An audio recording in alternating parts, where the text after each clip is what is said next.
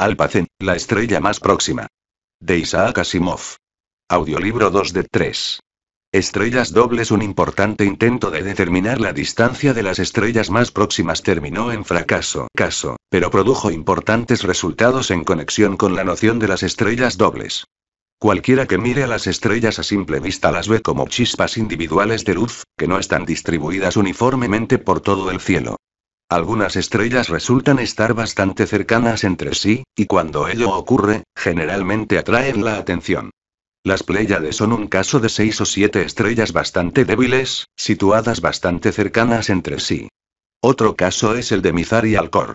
Mizar y Alcor eran el ejemplo más patente de estrella doble conocido por los antiguos, que solo podían utilizar su vista, sin ayuda alguna. Un punto interesante residía en la diferencia de luminosidad de las dos estrellas. La magnitud de Mizar, 2,2, hace que ésta sea cinco veces más brillante que Alcor, cuya magnitud es 4,0. El brillo de Mizar tiende a oscurecer o enmascarar a Alcor, y hace que sea difícil de ver a esta última. Es más, algunos pueblos antiguos usaban las dos estrellas como prueba de agudeza visual, porque hacía falta una vista muy buena para distinguir a la estrella más débil dentro del resplandor de la más brillante. Desde el momento en que los astrónomos empezaron a usar el telescopio, era prácticamente imposible que Mizar y Alcor siguieran siendo el ejemplo más notable de estrellas dobles. Puesto que el telescopio revela muchas más estrellas de las que se pueden ver a simple vista, esas estrellas han de estar, en promedio, más próximas entre sí, y ha de haber muchos más casos de estrellas dobles. Efectivamente, parecía inevitable que el telescopio revelara pares de estrellas débiles tan cercanas entre sí que hubieran parecido una sola de contemplarlas a simple vista. Al mismo tiempo se vio también que estrellas brillantes y bien conocidas, que se veían como chispas de luz individuales, resultaban ser dos o más estrellas muy poco espaciadas al observarlas con el telescopio. El primero de estos casos fue descubierto en 1650 por el astrónomo italiano Giovanni Battista Riccioli. Observando a Mizar en su telescopio, descubrió que estaba formada por dos estrellas separadas solamente unos cuantos segundos de arco. En este momento, están separadas 14,3. Ningún ojo humano, sin la ayuda del telescopio, habría podido distinguir dos estrellas tan juntas. Mizar no es solamente una estrella doble visual gracias a su proximidad a Alcor. Es también una estrella doble telescópica, la primera que se descubrió. Se hallaron otros ejemplos de este tipo, y para 1784 se habían preparado catálogos conteniendo 89 ejemplos de estas estrellas dobles telescópicas. En esta lista estaba incluida Alpha Centauri, descubierta como doble estrella por la Caille en la década de 1750, con las dos estrellas distanciadas menos de 22. Se ha hecho costumbre denominar a las dos estrellas de una doble telescópica con las letras A y B, reservándola para la más brillante de las dos. Así, la estrella que conocemos como Alpha Centauri es, en realidad, Alpha Centauri y Alpha Centauri B. Por entonces, sin embargo, el descubrimiento de los movimientos propios puso de manifiesto que las estrellas se hallaban a diferentes distancias. Por esa razón, estaba claro que la proximidad contra el fondo del firmamento no significaba necesariamente proximidad real. Los astrónomos decidieron que lo que parecían ser estrellas dobles eran en realidad estrellas sencillas que estaban muy separadas pero que, casualmente, se hallaban en la misma dirección al mirarlas desde la Tierra. Y se suponía que la más débil u oscura de las dos era la más lejana. De ser así, una estrella doble ofrecía un medio bastante conveniente para la medición de la paralaje estelar. La más oscura de la pareja tenía que hallarse tan lejos que su paralaje tendría que ser demasiado pequeña para ser descubierta, incluso empleando el gran desplazamiento de la Tierra alrededor del Sol. Por consiguiente, se podría considerar que su posición era fija, y se la podría tomar como referencia inmóvil para la otra estrella, que era más brillante y, por lo tanto, más próxima, y que, por consiguiente, podría exhibir una pequeña paralaje. En tal caso, ¿por qué no observar una estrella doble mes tras mes, midiendo la pequeña distancia entre las dos estrellas y anotando la forma en que pudieran cambiar muy ligeramente? Si la estrella más brillante exhibía paralaje, la distancia cambiaría en forma muy definida en el transcurso de un año. No habría miedo de pasarlo por alto. En la década de 1780, el astrónomo germano-inglés William Herschel emprendió esta tarea. Exploró el cielo en busca de estrellas dobles útiles a este fin, y consiguió un éxito realmente inesperado. Empezó a parecerle que había demasiadas. Si se distribuyese en forma aleatoria sobre todo el firmamento el número de estrellas existentes hasta una determinada magnitud de brillo, habría cierta probabilidad de que una pareja particular de estrellas estuviesen muy próximas entre sí. Una probabilidad menor de que estuviesen todavía más próximas, y así sucesivamente. La forma de calcular estas cosas era bien conocida, y resultó que el número de estrellas dobles era mucho mayor de lo que se podía atribuir al puro azar. Podría ser, pues, que las estrellas no estuviesen distribuidas en forma aleatoria, después de todo. Que algunas veces estuvieran juntas por alguna razón concreta. Herschel estudió un número considerable de estrellas dobles, y halló que la distancia entre ellas solía ser cambiante, pero no en la forma que uno pudiera esperar al observar la paralaje. En lugar de ello, parecía que la estrella más oscura se movía en una forma tal que parecía estarse desplazando en una órbita alrededor de la más brillante, de un modo muy parecido al de un planeta que se desplaza alrededor de su Sol. Para 1802, Herschel estaba convencido de que había muchas estrellas dobles reales, y no solo estrellas que parecían próximas por encontrarse en la misma dirección desde la Tierra. Estas estrellas dobles reales se llaman usualmente estrellas binarias, nombre derivado de una palabra latina que significa en pares. Tales binarias no son raras en modo alguno. Hoy se conocen por millares. De cada centenar de estrellas razonablemente brillantes tomadas al azar, es probable que cinco o seis resulten ser binarias al observarlas telescópicamente. En algunos casos, las estrellas pueden parecer sencillas aún vistas con el telescopio, pero hay otras formas en que se puede demostrar que son dobles.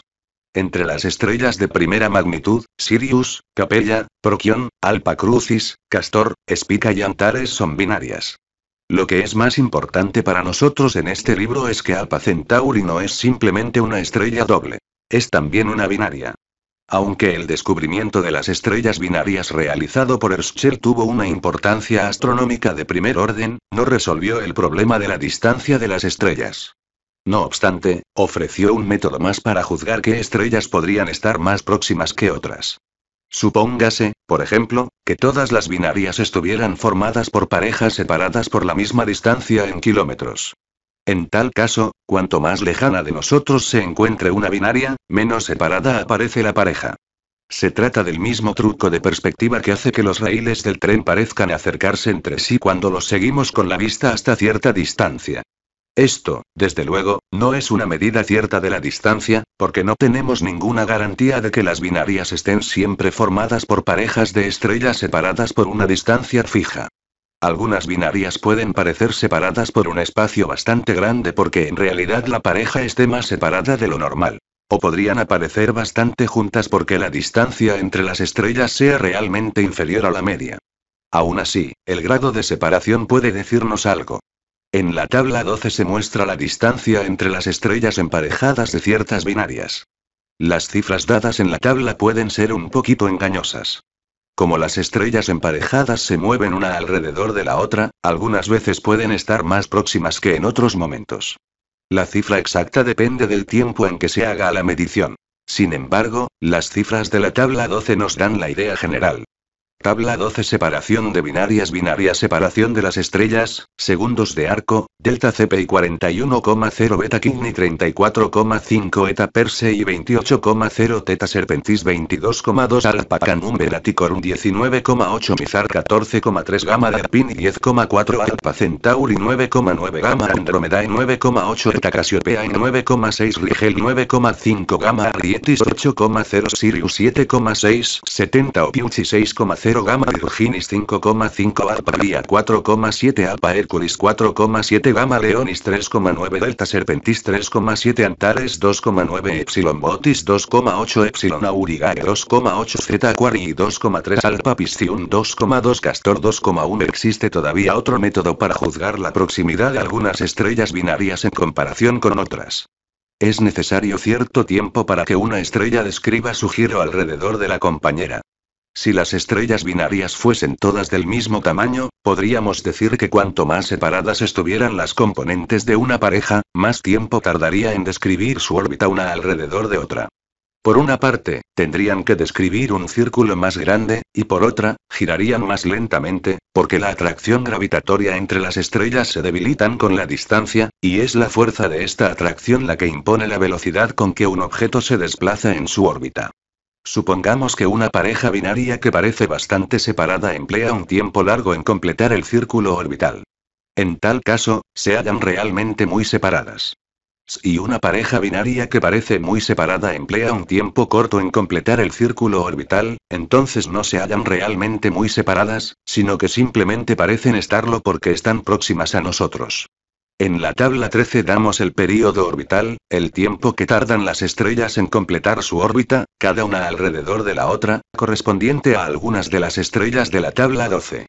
Tabla 13 Períodos orbitales de algunas binarias Binaria Período orbital, años, Eta Cassiopeiae 400,9 Gamma Virginis 171,4 70 Ophiuchi 87,85 Alpha Centauri 80,09 Sirius 49,94 Eta Cassiopeiae tiene una separación aparente muy similar a la de Alpha Centauri, como se puede ver en la tabla 12. Sin embargo, la pareja de Eta Cassiopeiae tiene un período orbital cinco veces más grande que el de Alpha Centauri, como se puede ver en la tabla 13. Basándonos en esto, podemos argumentar que las dos estrellas de Eta Cassiopeiae están, en realidad, mucho más separadas que las de Alpha Centauri.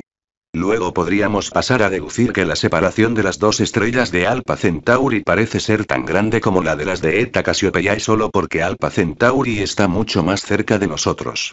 Otro ejemplo. Gamma Virginis y 70 Ophiuchi tienen separaciones menores que las de Alpha Centauri y Sirius sin embargo, sus períodos son mayores. Por consiguiente, Gamma Virginis y 70 Ophiuchi podrían estar más alejadas de nosotros que Alpha Centauri y Sirius. Tampoco esta cuestión del período orbital es completamente convincente. Dos estrellas pueden estar muy separadas y, sin embargo, tener un período corto porque sean estrellas grandes y de mucha masa. Las estrellas de gran masa poseen campos gravitatorios muy fuertes, que pueden impulsar a los objetos celestes en sus órbitas a velocidades inusitadamente altas. Sin embargo, aunque cada indicio nos ofrece alguna información con cierta incertidumbre, cuantos más de estos indicios se acumulan, más se reducirá dicha incertidumbre. Alpha Centauri y Sirius son ambas estrellas brillantes, las dos tienen movimientos propios grandes, las dos tienen separaciones bastante amplias entre sus parejas de estrellas componentes y, sin embargo, ambas tienen períodos orbitales bastante cortos. Agregando todos estos indicios, podemos tener una seguridad razonable de que Alpha Centauri y Sirius tienen que estar entre las estrellas más próximas a nosotros, a pesar de lo cual, nada que no sea la obtención efectiva de su paralaje podrá demostrarlo. Sin embargo, antes de pasar a esa cuestión, vamos a echar otro vistazo a las binarias. En algunos casos, el hecho de que una estrella sea binaria no afecta mucho a nuestra idea de la intensidad de la más brillante de sus componentes. Si una de las estrellas de la pareja es mucho más oscura que la otra, la más brillante de las dos estará aportando prácticamente todo el brillo, y su magnitud individual es aproximadamente igual a la magnitud combinada de las dos. Consideremos el caso de Sirius, por ejemplo.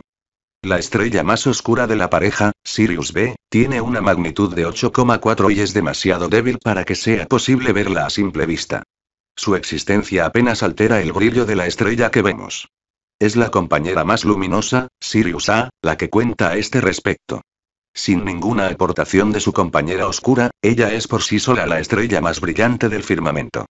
Prokion es otra estrella en la que la más brillante de la pareja, Prokion A, aporta prácticamente todo el brillo de las dos, ya que su compañera, Prokion B, tiene una magnitud de 10,8. También es posible, sin embargo, que las dos estrellas de una binaria tengan brillos aproximadamente iguales. En ese caso, la estrella, tal como la vemos, es considerablemente más brillante de lo que sería cada miembro de la pareja por separado. Alpha Crucis, por ejemplo, tiene una magnitud de 0,90, lo que la hace ser una destacada estrella de primera magnitud. De sus dos componentes, sin embargo, la más brillante, Alpha Crucis A, con una magnitud de 1,4, es una estrella de primera magnitud próxima al límite, mientras que Alpha Crucis B, con una magnitud de 1,9, es una estrella de segunda magnitud. Alpha Centauri queda incluida dentro de la segunda clase. Sus componentes tienen brillos comparables. Aunque Alpha Centauri, tomando las dos estrellas conjuntamente, tiene una magnitud de 0,27, la más brillante de la pareja, Alpha Centauri A tiene una magnitud de 0,4, mientras que Alpha Centauri B tiene una magnitud de 1,6. 4. Distancia y luminosidad La estrella más próxima aunque Herschel había fracasado en su intento de determinar la paralaje estelar por el método de las estrellas dobles, prosiguieron los esfuerzos en la misma dirección por otros métodos. Los telescopios y otros instrumentos se perfeccionaban constantemente, de modo que se podían detectar con precisión cambios cada vez menores en la posición de las estrellas. En la década de 1830, tres astrónomos atacaron el problema en un enérgico esfuerzo por conseguir la solución, y cada uno de ellos escogió una estrella diferente. El astrónomo germano-ruso Friedrich Georg Wilhelm von Struve decidió usar el brillo como criterio de la proximidad o cercanía. Su observatorio se hallaba en las costas del mar Báltico, a 59,2 n por lo que las únicas estrellas brillantes que aparecían bien altas en el cielo eran las que tenían una declinación positiva grande.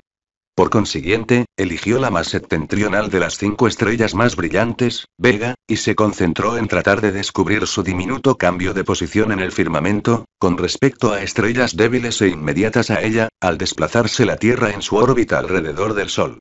El astrónomo alemán Friedrich Wilhelm Bessel adoptó como criterio indicativo de la cercanía la rapidez del movimiento propio. Por lo tanto, se concentró en 61 Kigni, la estrella de movimiento más rápido que se conocía en su tiempo, y comparó, de un día a otro y de un mes al siguiente, la posición de aquella con respecto a las de dos débiles estrellas próximas a ella que no tenían movimiento propio apreciable. Supuso que estas dos estrellas vecinas estaban muy lejanas, y que no exhibirían paralaje alguna. El astrónomo escocés Thomas Anderson se decidió por una combinación de prometedoras propiedades. Estaba trabajando en un observatorio en el Cabo de Buena Esperanza, cerca del extremo austral de África, y desde allí gozaba de excelente visión de una estrella muy meridional, Alpha Centauri. Teniendo presentes el brillo de esta gran estrella, su gran movimiento propio y el corto período de las dos estrellas que la componen, decidió concentrarse en ella. Pues bien, los tres astrónomos consiguieron por fin detectar la paralaje estelar.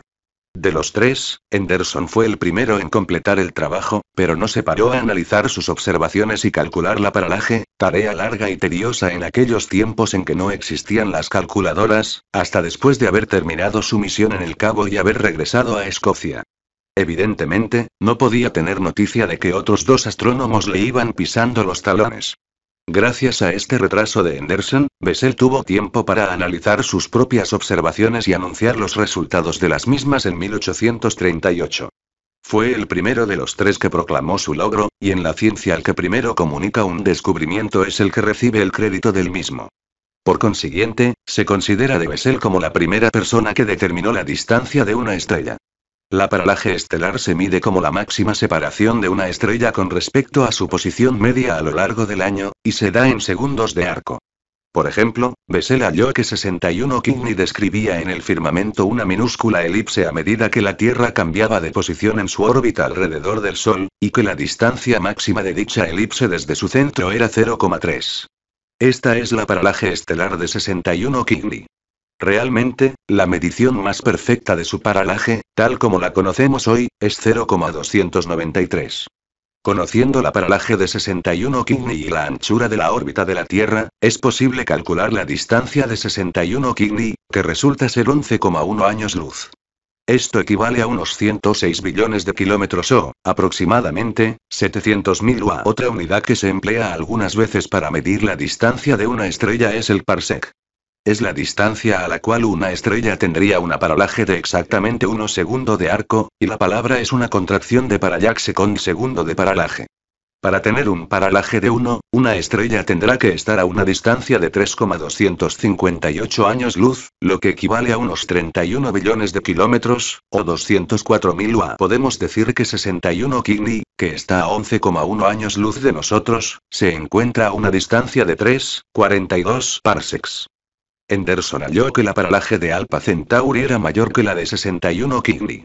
El valor más exacto que tenemos hoy es 0,756, lo que significa que Alpha Centauri está a 4,40 años luz, o 1,35 parsecs, de nosotros. De las tres estrellas cuyas paralajes se determinaron primero, Vega, que fue la tercera, es la más brillante. Actualmente se cree que está a 27 años luz de distancia, unos 8,3 parsecs.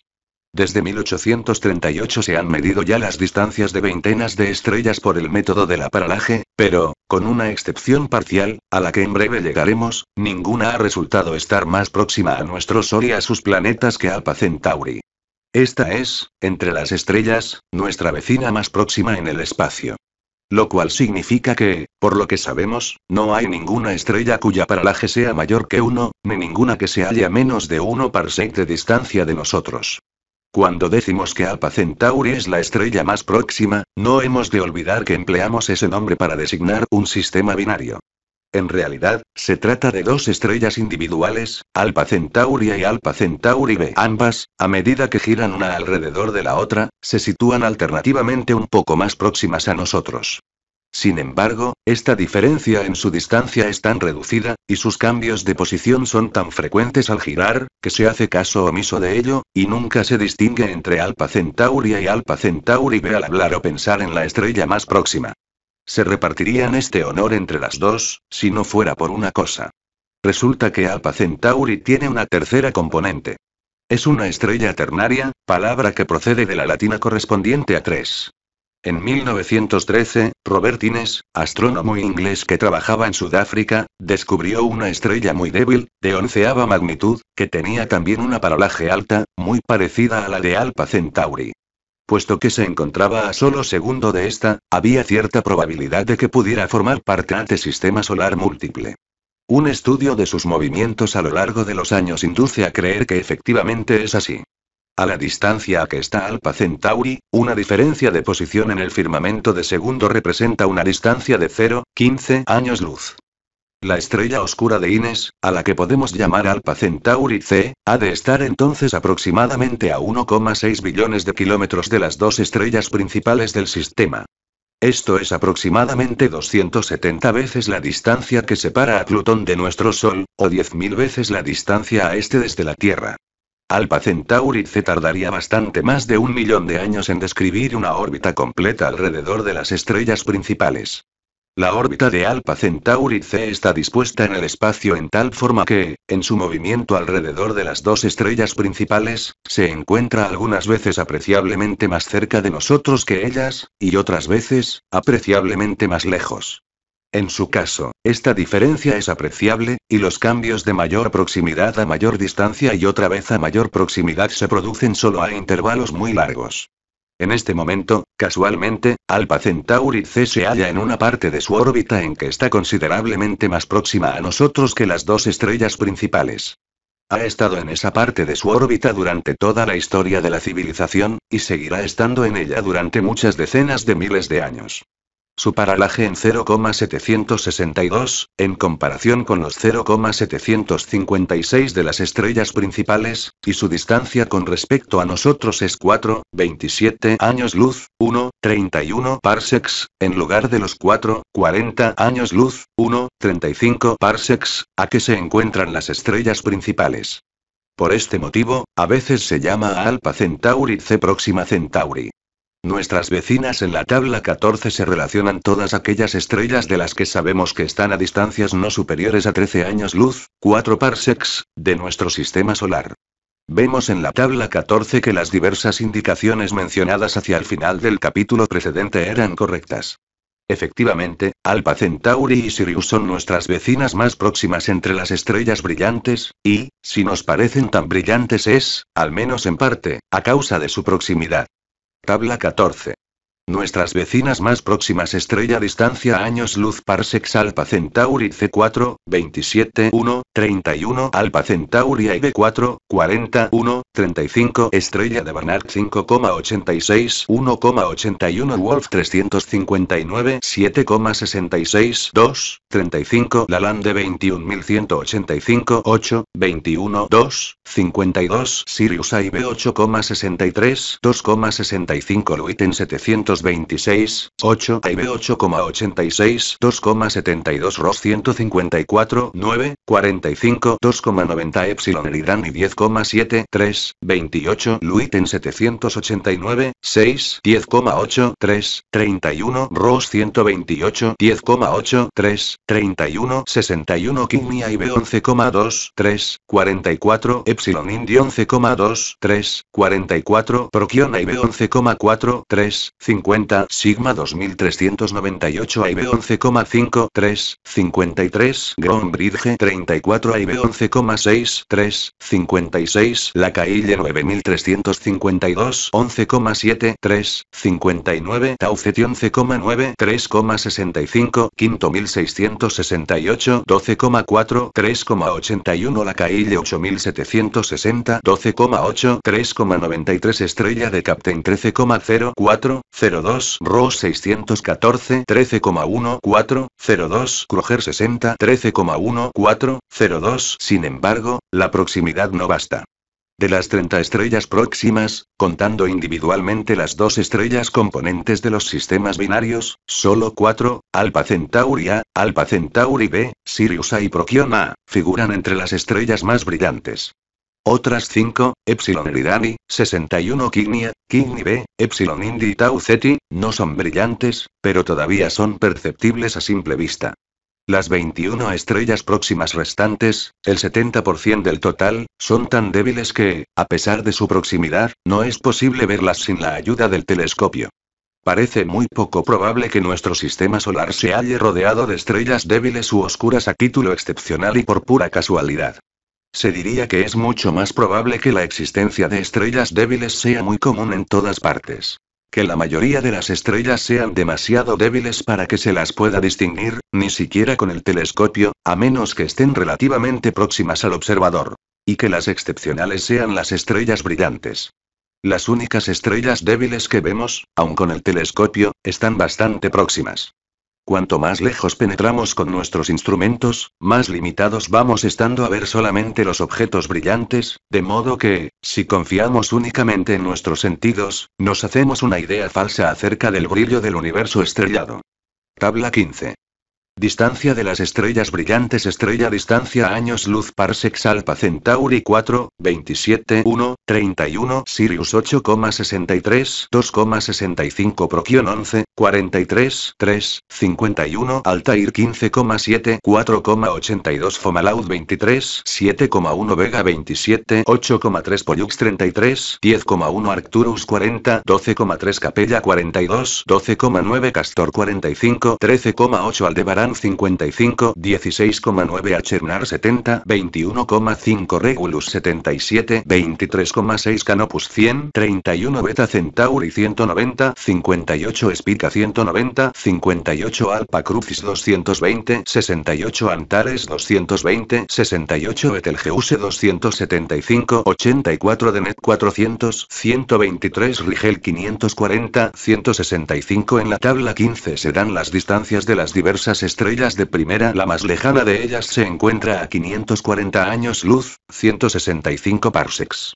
Dentro de esa distancia, y juzgando por el número de estrellas existentes en nuestra inmediata proximidad, ha de haber alrededor de 240 millones de estrellas como mínimo. Y todas ellas, menos unos cuantos millares de las más brillantes, son imperceptibles a simple vista. La mayoría, en realidad, son invisibles incluso para nuestros telescopios. Cuanto mayor es la distancia de una estrella, menor es su paralaje, y más difícil es medir exactamente dicha distancia. Por consiguiente, aunque podamos estar bastante seguros acerca de la distancia de las estrellas más próximas, la de las más alejadas se hace más bien borrosa. Las cifras de distancia correspondientes a la media docena de estrellas más lejanas incluidas en la tabla 15 son bastante aproximativas. Y, sin embargo, esas estrellas están muy próximas a nosotros en comparación con la mayoría de las existentes en el universo. La mayoría de las estrellas y agrupaciones de estrellas del universo se hallan a distancias de miles, o millones, o incluso miles de millones de años luz, y sus distancias se han de determinar por métodos distintos del de la paralaje. Sin embargo, tales estrellas distantes no son los temas que hemos de estudiar en este libro. Aquí nos ocupamos solo de las estrellas más brillantes. El factor de la distancia Una cosa que destaca en la tabla 15 es la notable brillantez de algunas de las estrellas más distantes. Consideremos el caso de Rigel. Está unas 50 veces más lejos de nosotros que Prokion y, sin embargo, Rigel aparece en el firmamento con un brillo mayor que el de Prokion. Rigel está aproximadamente 120 veces más lejos que Alpha Centauri, pese a lo cual las dos estrellas no difieren mucho en su brillo aparente. La intensidad de la luz disminuye en función del cuadrado de la distancia. Quiere decirse que si dos estrellas emiten luz en cantidades iguales, pero una se encuentra 50 veces más lejos de nosotros que la otra, como Rigel está 50 veces más remota que Prokion, entonces la más distante aparece con un brillo reducido en proporción al cuadrado de 50. Es decir, 50x50, o 2500 veces menor. Sin embargo, Rigel no aparece en absoluto como una estrella débil. Es más brillante que Prokion. Por consiguiente, la emisión de luz de Rigel ha de ser más de 2500 veces superior a la de Prokion, de modo que ni siquiera su distancia 50 veces mayor logra debilitarla hasta el nivel de esta. O miremoslo desde el otro ángulo. Alpha Centauri C es mucho más débil que Alpha Centauri A o B, aunque la primera está un poco más próxima a nosotros que las otras dos componentes del sistema. Lo único que podemos suponer es que Alpha Centauri C emite mucha menos luz que Alpha Centauri A o que la B. Resumiendo. Una vez que se determinaron las distancias de diversas estrellas, se descubrió rápidamente que las diferencias de brillo de las mismas en el firmamento no se debían por entero a sus diferencias de distancia. También había diferencias en la cantidad de luz que emitían. La diferencia en la cantidad de luz emitida por diversas estrellas se puede hacer más clara si suponemos que todas las estrellas se encuentran a una distancia determinada de nosotros y calculamos cuáles serían entonces sus magnitudes. Por ejemplo, Alpha Centauri tiene una magnitud de 0,27 y una distancia de 1,35 parsecs. Supóngase que la imaginamos a una distancia de 10 parsecs, que es 7,4 veces su distancia real. Puesto que la estamos suponiendo más lejana, a esta nueva distancia nos aparecería más débil, reduciéndose su brillo en 7,4x 7,4 o 55 veces. Partiendo de esta reducción de su brillo, podemos calcular cuál sería su magnitud a 10 parsecs. Por otra parte, imaginemos que Rigel, que tiene una magnitud de 0,14 a una distancia a 165 parsecs, se hallase también a una distancia de 10 parsecs. Puesto que la estamos imaginando más próxima de lo que realmente está, nos aparecería más brillante. Su aumento de brillo sería de 16,5x 16,5, o 272 veces, y partiendo de esto se puede calcular cuál sería su magnitud a 10 parsecs. La magnitud que cualquier estrella tendría si estuviera a una distancia de 10 parsecs de nosotros se llama su magnitud absoluta. Lo que hasta ahora hemos venido llamando simplemente en este libro la magnitud, el brillo de una estrella, sea cual fuera la distancia a que se encuentre en realidad, recibe a veces el nombre de magnitud aparente. En la tabla 16 damos las magnitudes absolutas de las estrellas más brillantes. Tabla 16. Magnitud absoluta de las estrellas brillantes Estrella magnitud absoluta Rigel, 6,2 Betelgeuse, 5,6 Deneb, 4,8 Canopus, 4,6 Beta Centauri, 3,1 Alpha Crucis A, 2,7 Achernar, 2,6 Antares A, 2,4 Spica, 2,2 Alpha Crucis B, 2,2 Regulus A, 0,7 Capella A, 0,5 Aldebaran A, 0,5 Arcturus 0,0 Vega 0,5 Pollux 1,0 Sirius A 1,3 Antares B 1,6 Fomalhaut 2,1 Altair 2,4 Procyon A 2,8 Alpha Centauri A 4,7 Al hablar de una estrella con una magnitud aparente baja se dice que es brillante. Al hablar de una con una magnitud absoluta baja se dice que es luminosa. Así, de todas las estrellas que podemos ver a simple vista, Sirius A es la más brillante, pero Rigel es la más luminosa.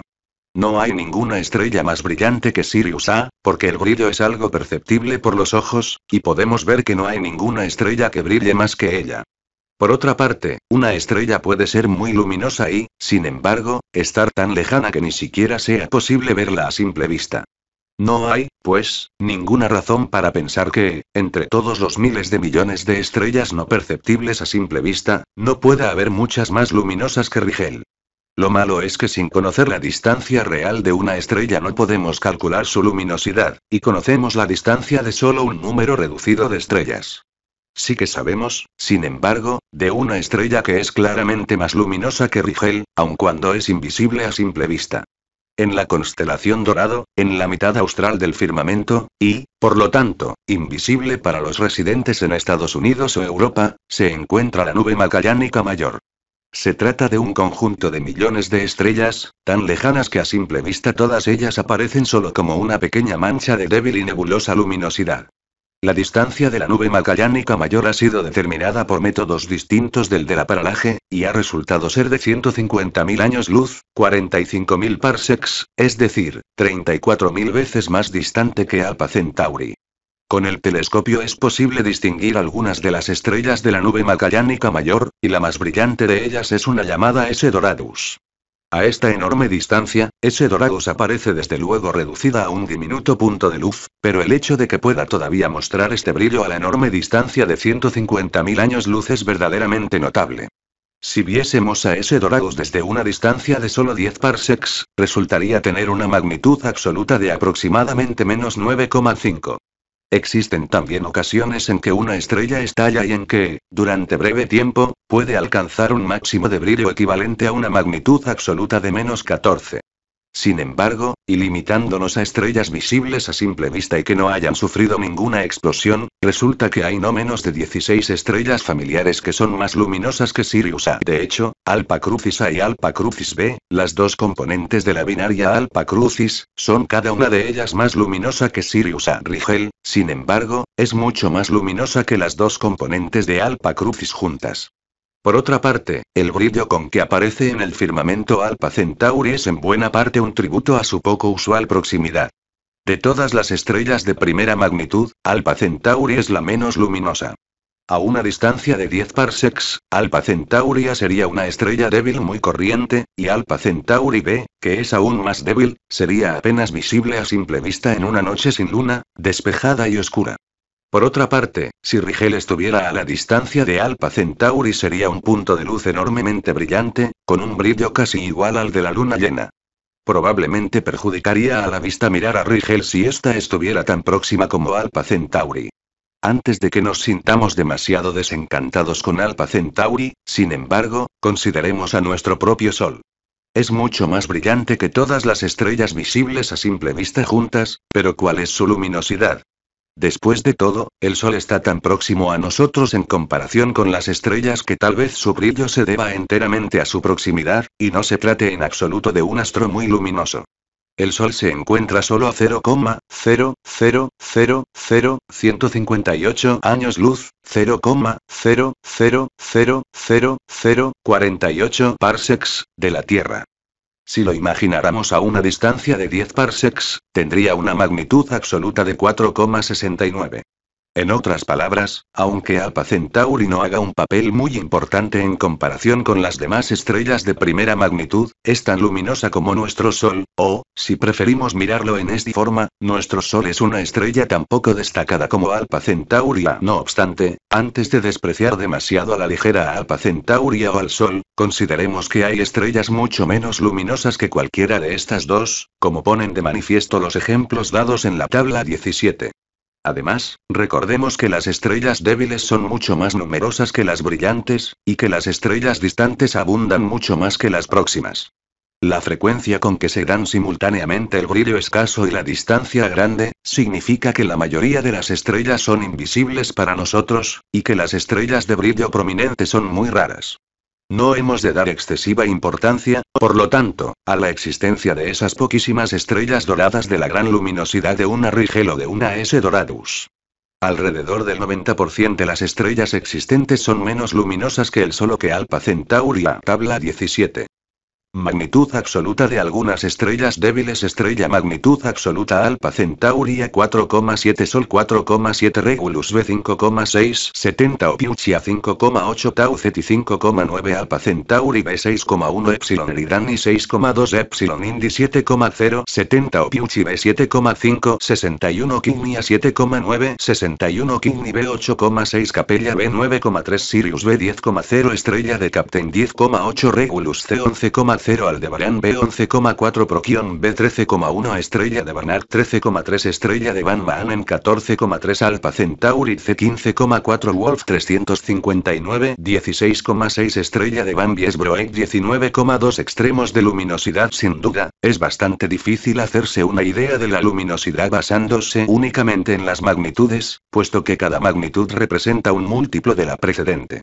Supongamos, por ejemplo, que una estrella concreta supera en una magnitud el brillo de otra.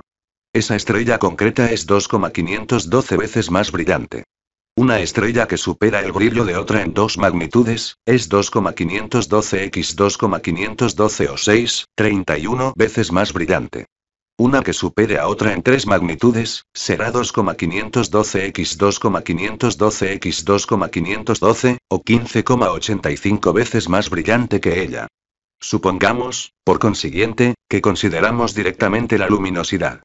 No nos importe en cuántas magnitudes absolutas puede ser una estrella determinada más brillante o más oscura que el Sol.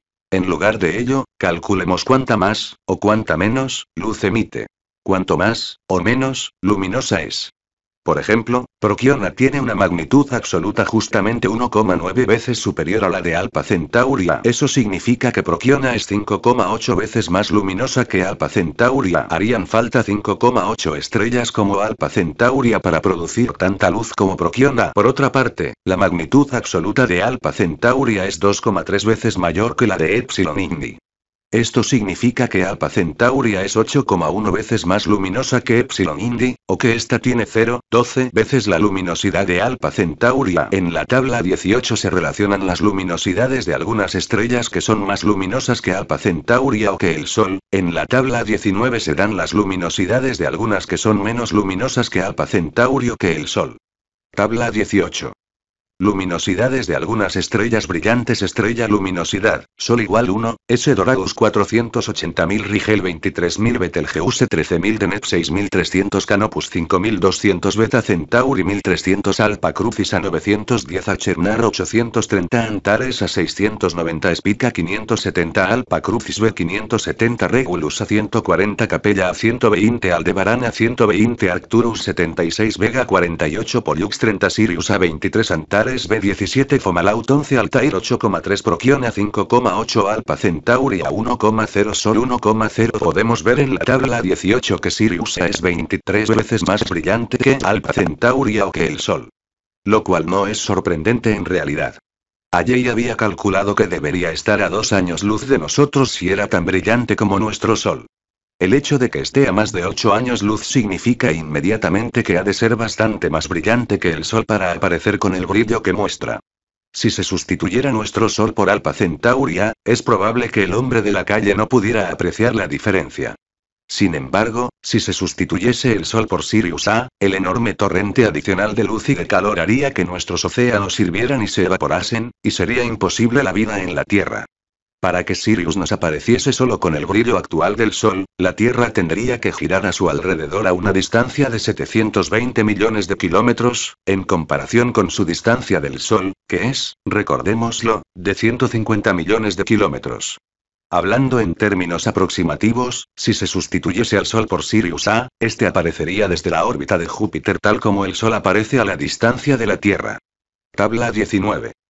Luminosidades de algunas estrellas débiles Estrella luminosidad, Sol igual 1, Alpha Centauri a 1,0 Sol 1,0 Regulus B0, 44, 70 Opiuchi a 0, 36 Tau Ceti 0, 33 Alpha Centauri B0, 28 Epsilon Eridani 0, 25 Epsilon Indi 0, 12 70 Opiuchi B0,0 76 61 Kigni a 0,053 61 Kigni B0,028 Capella B0,0 14 Sirius B0,0076 Estrella de Captain 0,0036 Regulus C0,0030 Aldebaran B0,0021 Prokion B0 Estrella de Barnard 0 Estrella de Van Manen 0 Alpha Centauri C0,000053 Wolf 359 0,000017 Estrella de Van Biesbroek 0,000015 20 imaginemos a Rigel en el lugar de la Tierra tendría que orbitar a una distancia de 23 mil millones de kilómetros para que la luz del astro se redujese al nivel de la del Sol tal como lo vemos desde la Tierra.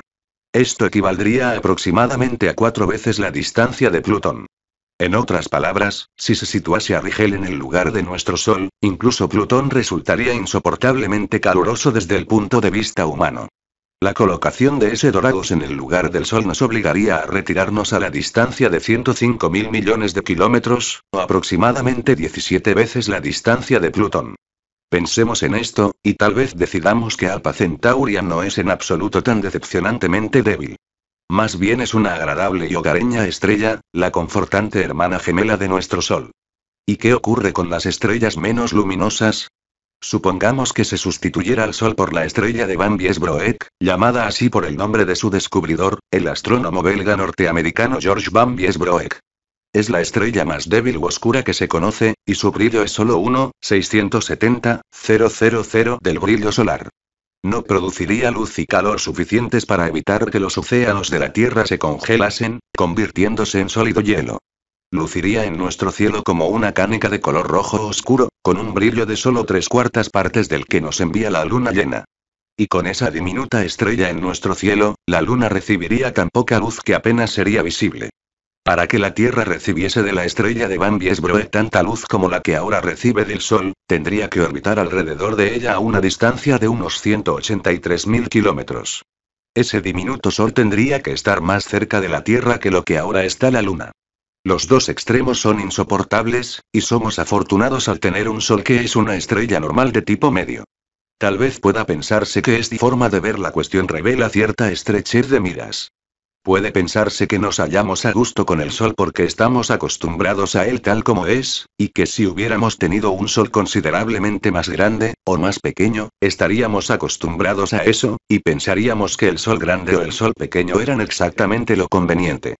En realidad, como veremos más adelante en el libro, la estrella media es la que nos conviene, y no solo porque estemos acostumbrados a ella. 5.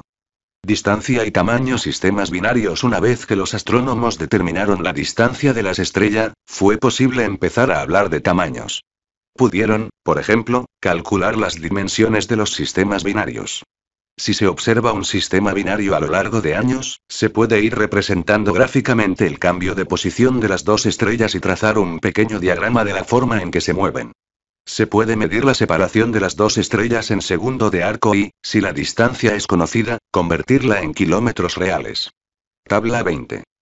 Dimensiones de sistemas binarios estrella distancia de separación en kilómetros delta Kidney 16 mil millones Castor 11 mil millones, 400 millones Ectacasiopeiae 9 mil millones, 700 millones Fibrase Mayori 6 mil millones, 900 millones Gamma Virgini 6 mil millones, 800 millones, Plutón Sol 5 mil millones, 900 millones Neptuno Sol 4 mil millones, 500 millones, Alpha Ursae Majoris 4 mil millones, 300 millones 70 Opiuchi 3 mil millones, 500 millones, Z Sagittari 3 mil millones, 500 millones, Alpha Centauri 3 mil millones, 500 millones, Eta Opiuchi 3 mil millones, 200 millones, Z Cancri 3 mil millones, 150 millones, Sirius 3 mil millones, Shi Scorpii 3 mil millones, Urano Sol 2 mil millones, 870 millones, Prokion 2 mil millones, 250 millones, Z Hércules 2 mil millones, 40 millones, millones, Coronae Borealis mil millones, 870 millones, 42,e mil millones, 840 millones, Epsilon Hydrae mil millones, 650 millones, Saturno Sol mil millones, 400 millones, Júpiter Sol 777 millones, Delta Equulei 620 millones, Beta Capricorni 375 millones, Marte Sol 228 millones, Tierra Sol 150 millones, Venus Sol 108 millones, Capella 84 4 millones, Mercurio Sol 58 millones, Mizar 42 millones, 500 mil por ejemplo, el magnífico sistema binario de Alpha Crucis está formado por dos estrellas separadas unos 80 mil millones de kilómetros. Una de ellas es 910 veces más brillante que el Sol, y la otra 570 veces más brillante. En la tabla 20 se da la distancia media entre las dos estrellas de cierto número de sistemas binarios. Para dar al lector una idea de la magnitud de estas separaciones en comparación con las más familiares de nuestro propio sistema solar, se dan los diversos planetas con sus distancias desde nuestro Sol, intercalándolos en los lugares apropiados de la tabla. Las estrellas incluidas en la tabla 20 constituyen solamente una muestra, y las cifras que se dan para muchos de los sistemas tienen una exactitud solamente limitada. La separación de las dos estrellas de Delta Cygni es casi tres veces mayor que la distancia de Plutón al Sol, pero hay también separaciones mayores que esta. Después de todo, Alpha Centauri C está separada de Alpha Centauri A y B por aproximadamente 1.600 billones de kilómetros. Esta distancia es más de 250 veces mayor que la de Plutón al Sol, y aproximadamente 100 veces la que separa a las dos estrellas de Delta Cygni.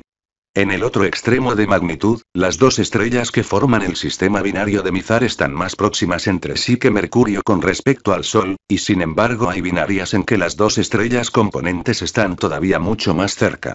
Las parejas realmente próximas no se pueden distinguir visualmente una de otra ni siquiera con ayuda del telescopio. Afortunadamente, como veremos, hay otros instrumentos disponibles. En el caso del sistema de Alpha Centauri, la separación media entre las dos estrellas Alpha Centauri y Alpha Centauri B es mayor que la existente entre Urano y el Sol, y menor que la que hay entre Neptuno y el Sol. Sin embargo, si se superpusiera el sistema de Alpha Centauri sobre el sistema solar, con Alpha Centauri en el lugar de nuestro Sol, Alpha Centauri B no ocuparía una órbita circular comprendida entre las de Urano y Neptuno. Las cosas serían un poco más complicadas. Si la órbita de un objeto en movimiento alrededor de una estrella fuese un círculo exacto, la estrella permanecería en el centro preciso de la órbita, y ello representaría una situación muy sencilla.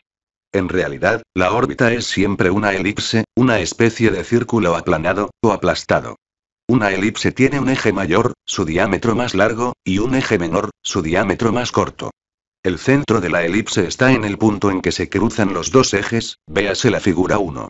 En la elipse hay dos puntos focales, o focos. Están situados en el eje mayor, cada uno a un lado del centro y a distancias iguales de este. Cuanto más aplanada es la elipse, más alejados del centro están los dos focos, y más próximos a los extremos. Estos focos están situados en tal forma que si se traza una línea recta desde uno de los focos a cualquier punto de la elipse, y luego se une este punto mediante una nueva recta al otro foco, la suma de las longitudes de las dos rectas es siempre igual, y tiene también siempre la misma longitud que el eje mayor. Casualmente, cuando un objeto se mueve alrededor de una estrella siguiendo una órbita elíptica, la estrella se encuentra siempre en uno de los focos, hallándose, por consiguiente, más próxima a un extremo de la órbita que al otro. El punto de mayor proximidad se llama el periastro, de unas palabras griegas que significan cerca de la estrella. El punto más lejano es el apastro, nombre derivado de unas palabras griegas que significan lejos de la estrella, véase la figura 2. En los sistemas binarios, las dos estrellas, bajo la atracción gravitatoria, se desplazan en una órbita alrededor de un punto situado entre ambas y llamado centro de gravedad. Al moverse, ambas estrellas permanecen siempre en lados opuestos del centro de gravedad, y la estrella más grande está siempre más próxima a él.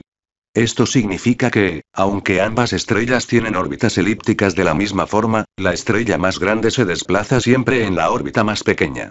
Cuando un objeto de un par binario es mucho más grande que el otro, forma una elipse tan pequeña alrededor del centro de gravedad que permanece prácticamente estacionario. Tal es el caso del Sol y la Tierra, por ejemplo, en el que el Sol apenas se mueve algo, mientras que la pequeña Tierra se desplaza trazando una gran elipse. Siempre es posible, sin embargo, suponer que el más grande de los dos objetos de un sistema binario permanece inmóvil, y calcular la órbita del más pequeño alrededor de él. Esto distorsiona la situación con respecto a los observadores situados en otros sistemas planetarios, con respecto a nosotros, por ejemplo.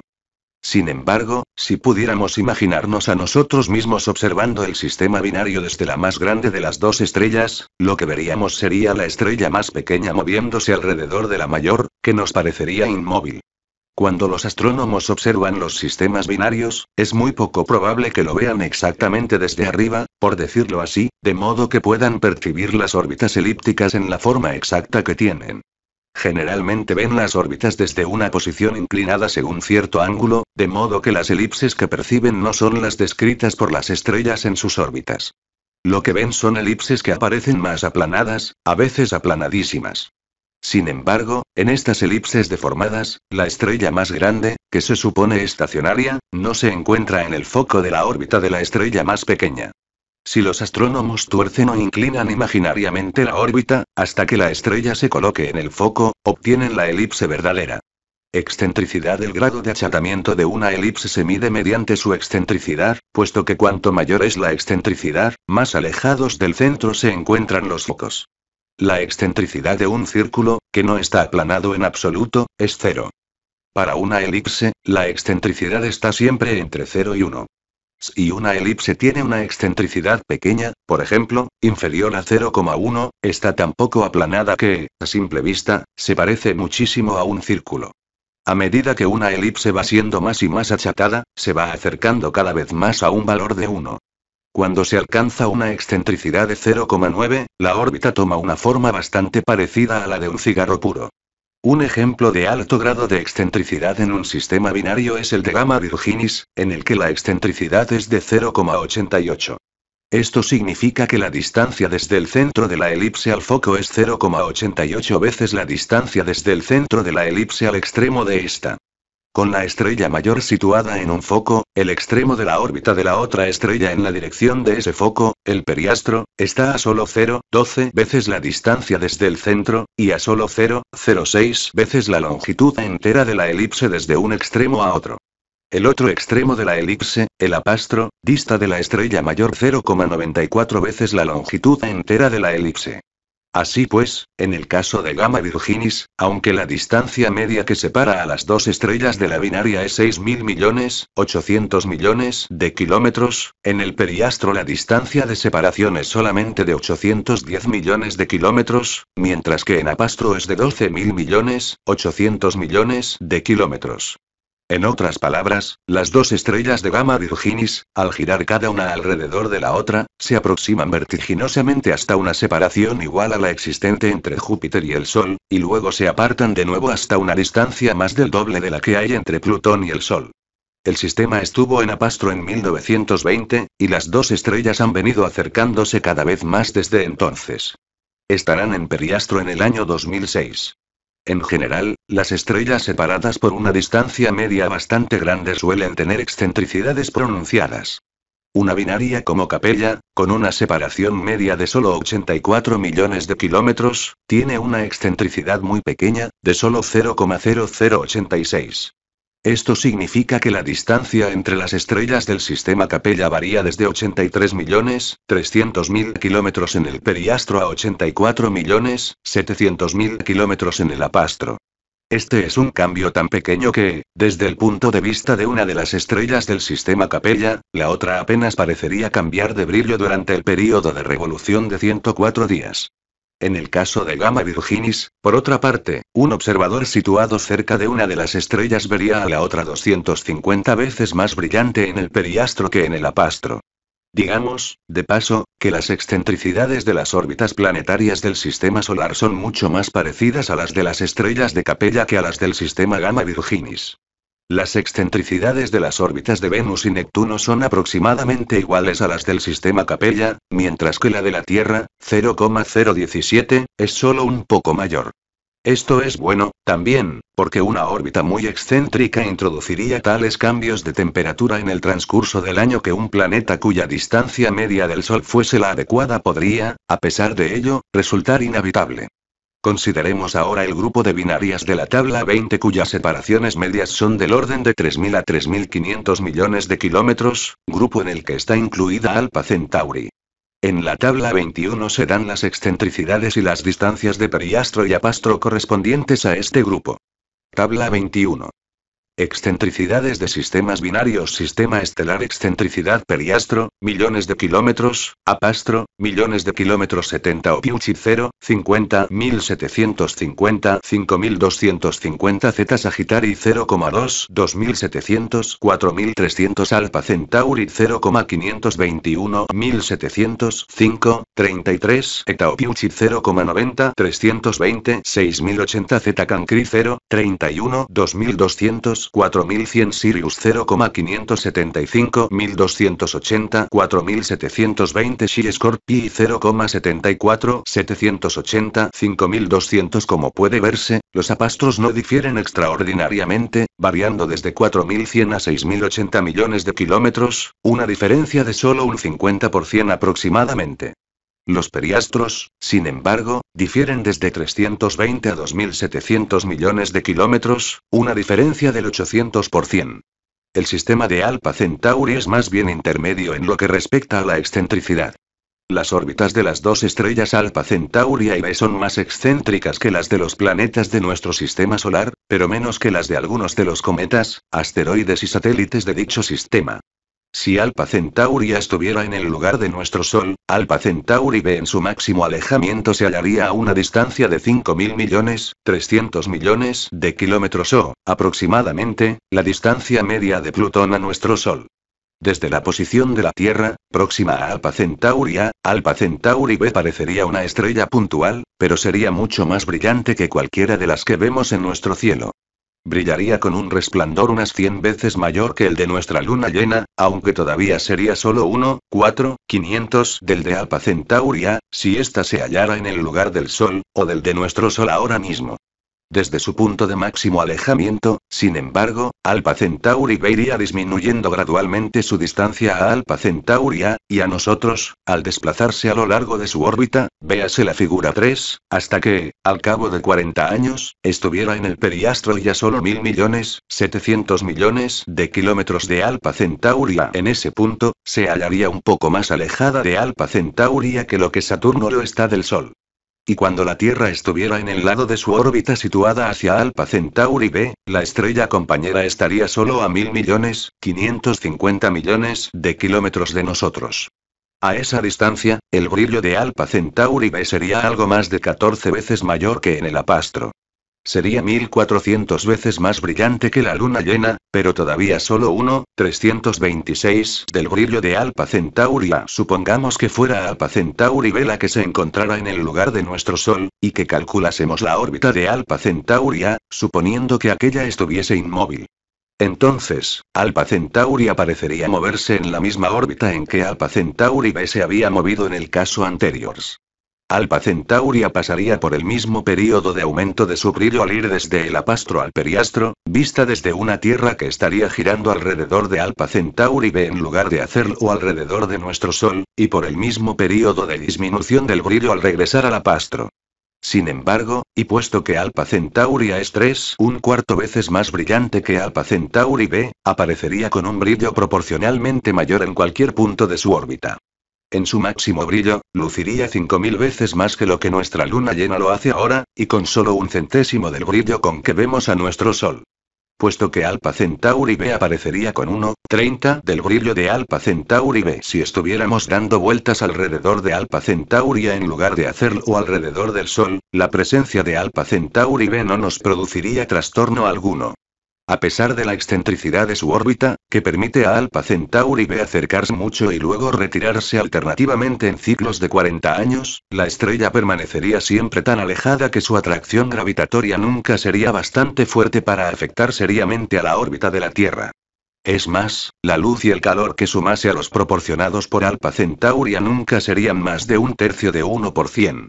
Y pensemos en el maravilloso espectáculo que nos proporcionaría en el cielo. Si estuviésemos orbitando alrededor de Alpha Centauri B, el mayor brillo de Alpha Centauri nos perturbaría más, pero si imaginásemos a la Tierra más aproximada a Alpha Centauri B, para recibir de este Sol menor tanta luz y tanto calor como recibimos del nuestro, la interferencia de Alpha Centauri no resultaría excesivamente molesta. Bueno, ¿y qué pasaría con Alpha Centauri C, la próxima Centauri? Aun cuando estaría mucho más cercana a nosotros, si la Tierra estuviese orbitando alrededor de Alpha Centauri o de Alpha Centauri B, que lo está cualquier estrella en nuestro propio sistema solar, no llegaría a ser muy brillante. Sería una estrella bastante débil, de magnitud 3,7. Es más, su movimiento propio, como resultado de su revolución de 1.300.000 años alrededor del centro de gravedad de las dos estrellas mayores del sistema, sería casi exactamente de un segundo de arco por año. Ni su brillo ni su movimiento propio atraerían mucho la atención, y los contempladores de estrellas podrían observar por siempre el firmamento sin sospechar que esta débil estrella perteneciese a su propio sistema. Lo único que podría desvelar su secreto sería que los astrónomos decidieran hacer una comprobación rutinaria de las paralajes de las diversas estrellas visibles en el cielo.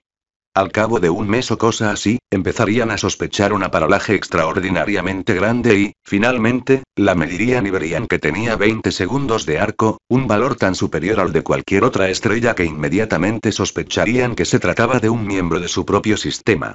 Puede haber allá fuera, en algún lugar, una débil estrella que pertenezca a nuestro propio sistema solar, Podrá ocurrir que no nos hayamos dado cuenta de ello porque de la casualidad de que los astrónomos no la hayan estudiado con el detenimiento suficiente para detectar una paralaje anormalmente grande. No es muy probable, pero es concebible. Más a las estrellas binarias hacen posible el cálculo de las masas de al menos algunas estrellas.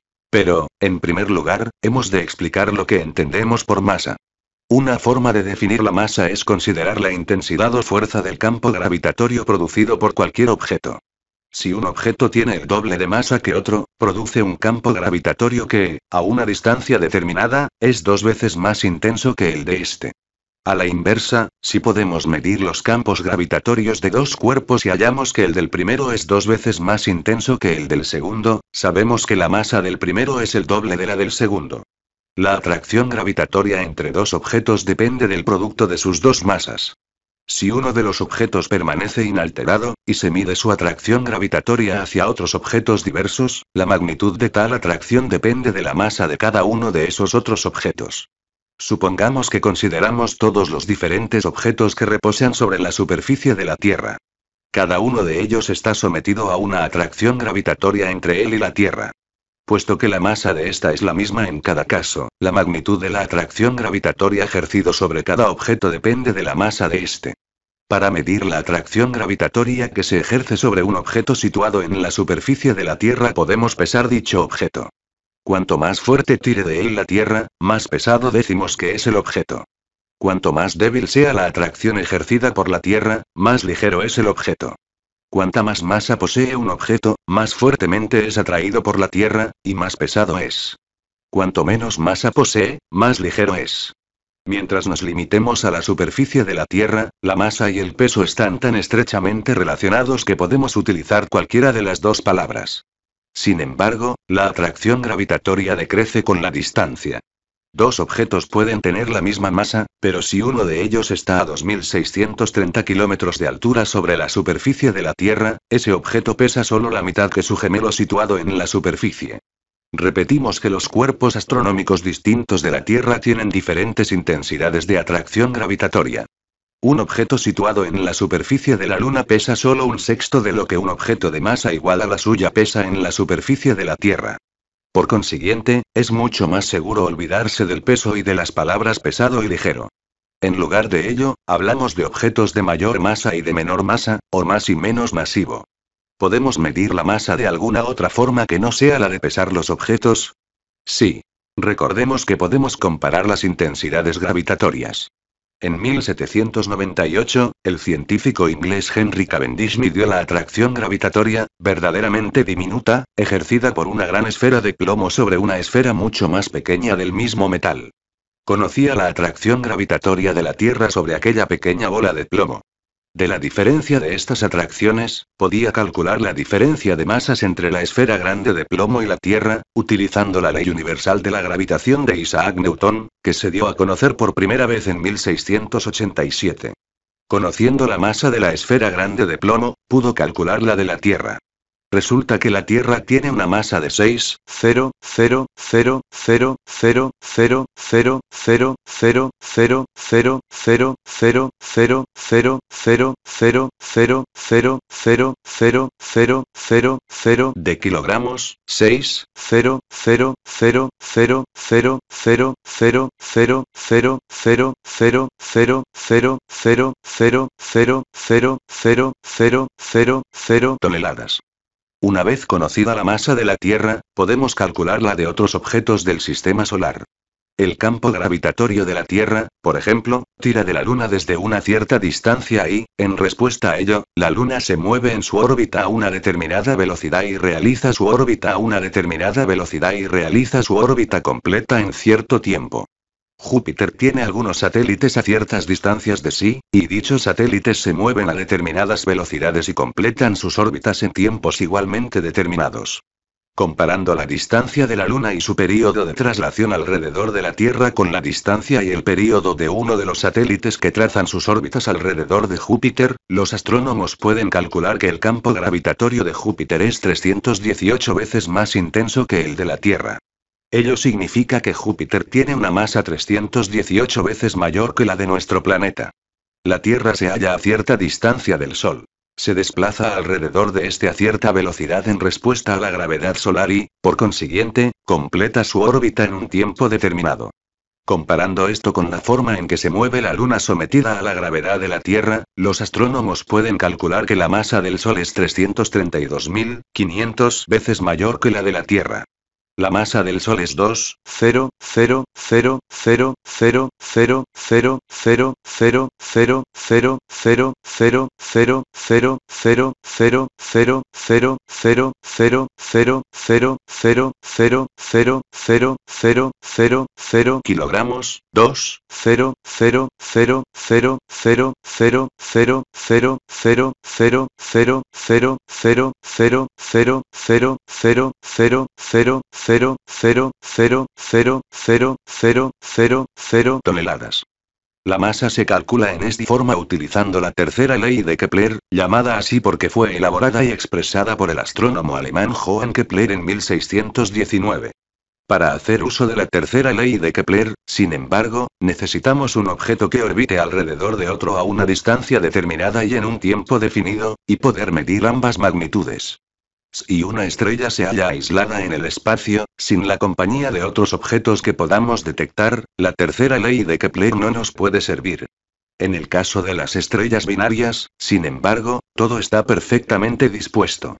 Si podemos medir la distancia media entre las estrellas y el tiempo que éstas necesitan para orbitar alrededor de su centro de gravedad, podremos calcular la masa total de las dos estrellas del sistema binario mediante la comparación de sus distancias y de sus tiempos con las distancias y los tiempos de nuestro propio sistema solar.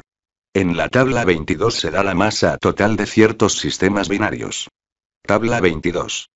Masa total de sistemas binarios Sistema binario Masa total, masa del Sol igual 1, Capella 5,3 Castor 3,68 Sirius 3, 55 Delta EQULEI 3, 20 Z Sagitari 3,0 Proquion 2, 38 Mizar 2, 22 Alpha Centauri 1,95 Gamma Virginis 1,74 70 Opiuchi 1,65 Z Herculius 1,6 Z Opiuchi 1,5 Delta Kigni 1,4 Alpha Ursa Mayor 1,2 Eta Cassiopeiae 1, 18 61 Kidney 1, 14 Eta Corona Borealis 1,1 Shigotis 1,0 85 Pegasi 0,9 Kroger 60 0, 44 Ro 614 0, 22 Si la masa total de un sistema binario es superior al doble de la del Sol, es posible que cada estrella del sistema binario tenga una masa mayor que la. Si la masa total está comprendida entre 1 y 2 veces la del Sol, entonces una de las estrellas ha de tener menos masa que él.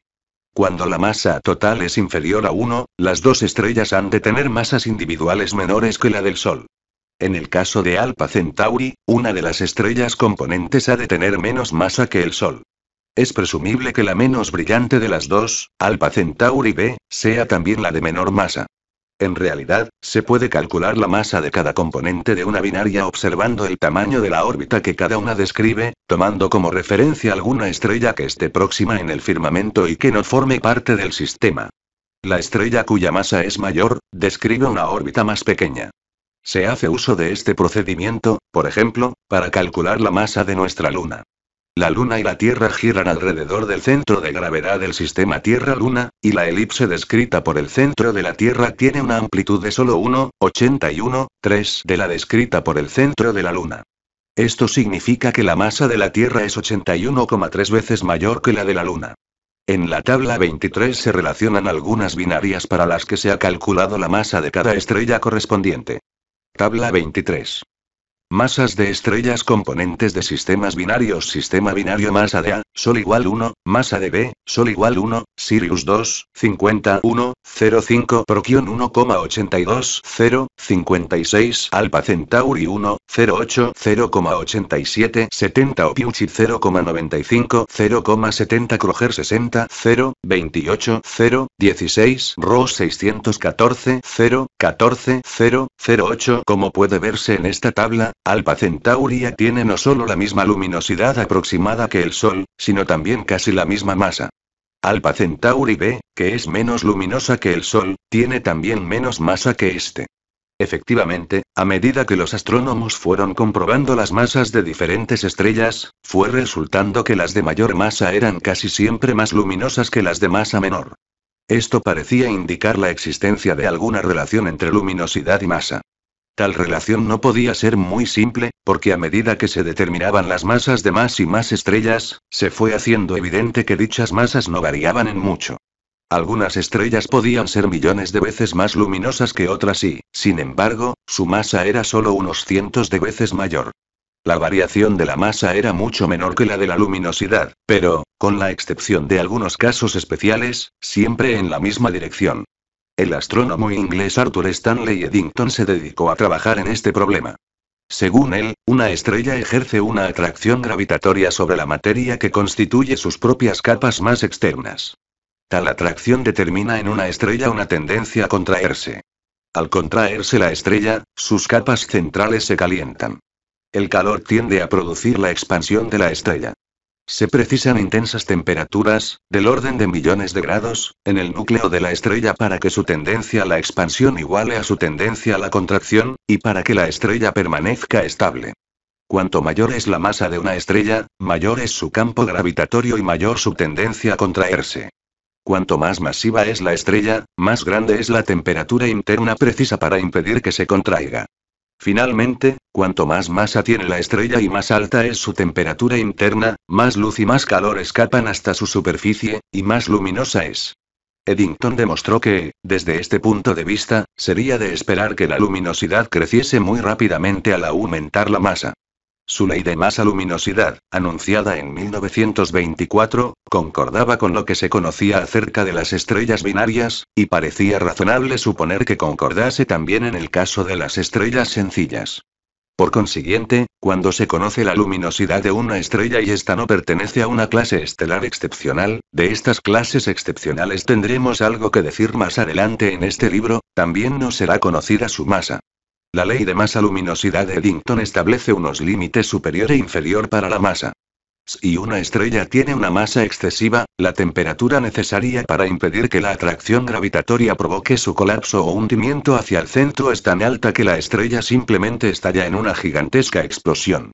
En realidad, aquellas estrellas que tienen una masa considerablemente mayor que la del Sol, pero no tan grande que impida que se mantengan enteras durante algún tiempo, corren el peligro de explotar en alguna etapa de su historia. Por otra parte, si la masa de una estrella es inferior a cierto valor crucial, su temperatura en el centro nunca alcanza el valor necesario para que llegue a irradiar luz. En tal caso, no se trata realmente de una estrella, sino de un cuerpo oscuro, cuya superficie permanece fría. La estrella de mayor masa observada hasta ahora parece que es HD 47129, la que ocupa el puesto 47129 en el catálogo de Henry Draper, que parece tener una masa unas 140 veces mayor que la del Sol. En realidad, se trata de una binaria formada por dos estrellas, cada una de ellas con una masa unas 70 veces mayor que la del Sol. Su gran masa fue puesta de manifiesto por primera vez en 1922 por el astrónomo canadiense John Stanley Plaskett. La estrella de menos masa que conocemos es Ross 614b, que aparece incluida en la tabla 23. Por lo menos, este es el cuerpo de menor masa que se puede detectar gracias a su luz propia. Dentro de nuestro sistema solar, conocemos muchos objetos con masas menores, que podemos observar gracias a la luz solar que reflejan, aun cuando no son suficientemente grandes para desarrollar una temperatura que les haga brillar con luz propia. Así, Júpiter, el planeta más grande de nuestro sistema, tiene aproximadamente 0,001 de la masa del Sol, 0,180 de la de Ross 614b. Brilla únicamente con luz reflejada, y si no estuviera cerca de una estrella sería imposible verlo. Tanto nuestro Sol como las dos estrellas principales del sistema Alpha Centauri se hallan cómodamente situados entre estos límites. Alpha Centauri C se halla cerca del límite inferior. Velocidad transversal Una vez que se determinó la distancia de las estrellas más próximas, fue posible hacer algo más con el movimiento propio. Generalmente, estos movimientos se miden en segundos de arco por año. Pero si se conoce la distancia de una estrella determinada, los astrónomos pueden calcular qué velocidad en kilómetros por segundo sería necesaria para producir a esa distancia el movimiento propio observado. En realidad, todas las estrellas se mueven, incluido el Sol. Las estrellas que nos rodean, incluido el Sol, forman todas parte de un gigantesco sistema de forma lenticular, que incluye a más de 100.000 millones de estrellas. Lo que vemos en el firmamento como una banda débilmente luminosa, la Vía Láctea, es en realidad un conglomerado de estrellas muy distantes y débiles, que representa lo que vemos cuando miramos a través de la lente de estrellas en el sentido de mayor longitud. El sistema lenticular de estrellas recibe el nombre de galaxia, derivado de una palabra griega que significa leche. Algunas veces se la llama galaxia de la Vía Láctea, para identificar de cuál se trata, ya que hay otras muchas galaxias además de la nuestra.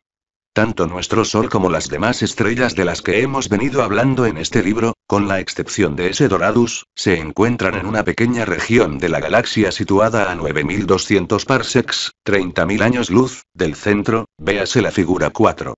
Nuestro Sol y todas las demás estrellas de su vecindad se desplazan alrededor de dicho centro en una inmensa órbita en la que invierten 230 millones de años para dar una vuelta completa. Las estrellas próximas a nosotros giran alrededor del centro galáctico a una velocidad de unos 220 km por segundo. Sin embargo, todas las estrellas próximas a nosotros no se mueven exactamente a la misma velocidad. Algunas se hallan un poco más próximas al centro, otras tienen órbitas más excéntricas que las de sus vecinas. Esto significa que una estrella determinada puede estar en el momento actual adquiriendo cierta ventaja sobre una segunda, y perdiendo terreno con respecto a una tercera. Este adelantamiento o este retraso es lo que se pone de manifiesto como movimiento propio de las estrellas. La magnitud del movimiento propio depende de dos cosas.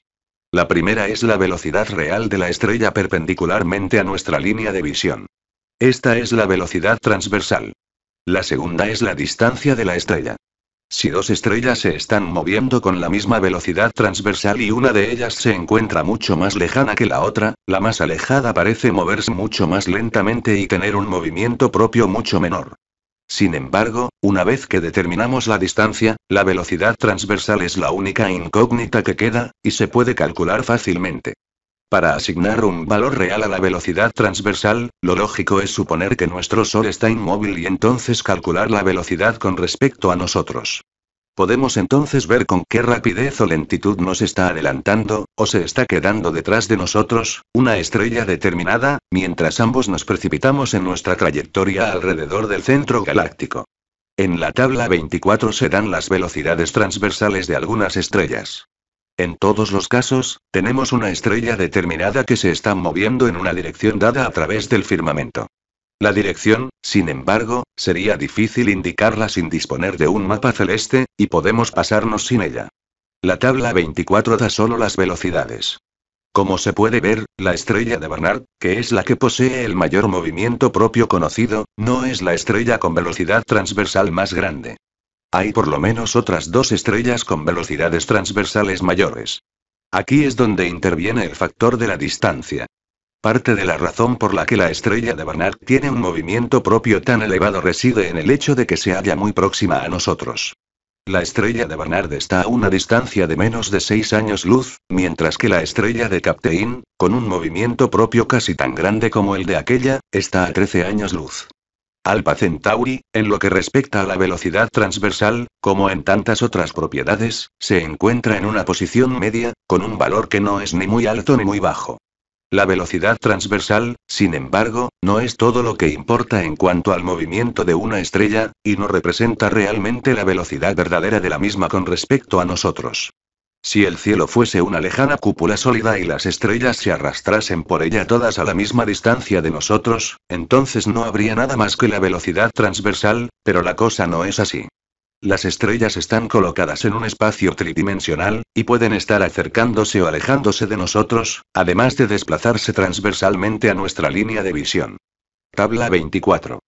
Velocidad transversal de algunas estrellas Estrella velocidad transversal, kilómetros barra segundo, estrella de Captain 166 La Caille 9352 118 Estrella de Barnard 90 61 Kidney 84 Epsilon Indy 77 La Caille 8760 64 Lalande 21185 57 Wolf 359 54 Luiten 789 6 53 Groundbridge 34 44, 49 Luiten 726, 8, 38 Tau Ceti 33 Alpha Centauri 23 Ros 248, 23 Ros 128, 22 Prokion 20 Ros 614, 18 Kroger 60, 16 Sirius 16 Epsilon Eridane 15 Ros 154, 9 Una estrella puede hallarse más alejada del centro galáctico que nosotros, por ejemplo, pero puede tener una órbita más excéntrica y estar moviéndose en ángulo con nuestra trayectoria para precipitarse hacia un punto más próximo al centro, razón por la que puede estar acercándose a nosotros. O bien puede estar desplazándose hacia el exterior, hacia una distancia del centro galáctico mayor de la que nosotros podremos alcanzar jamás, y puede estar alejándose de nosotros por esa causa. El movimiento de una estrella acercándose o alejándose de nosotros se llama velocidad radial, nombre procedente de la palabra latina que designa el radio de una rueda. Es como si nos imagináramos situados en el cubo de la rueda y la estrella se aproximase o se alejase a lo largo del radio. Si queremos conocer la velocidad real de una estrella, hemos de conocer su velocidad radial. Supongamos que dos estrellas se están moviendo a la misma velocidad, pero una lo está haciendo en forma completamente perpendicular a nuestra línea de visión, mientras que la otra se mueve radialmente, acercándose o alejándose directamente de nosotros. La estrella que se está moviendo completamente perpendicular a nuestra línea de visión está cambiando su posición en el cielo, y detectamos este cambio como movimiento propio. La otra estrella, a pesar de estar animada de la misma velocidad, se acerca o se aleja a lo largo de nuestra visual y no parece cambiar de posición en el cielo, de modo que no percibimos ningún movimiento propio. La mayoría de las estrellas no se mueven completamente perpendiculares a nuestra línea de visión, ni tampoco en forma perfectamente radial, acercándose o alejándose. Se desplazan en alguna dirección intermedia, y percibimos parte de su movimiento como movimiento propio. Cuanto más se aproxime su dirección a la perpendicular a nuestra línea de visión, más grande es la fracción de su movimiento que percibimos como movimiento propio.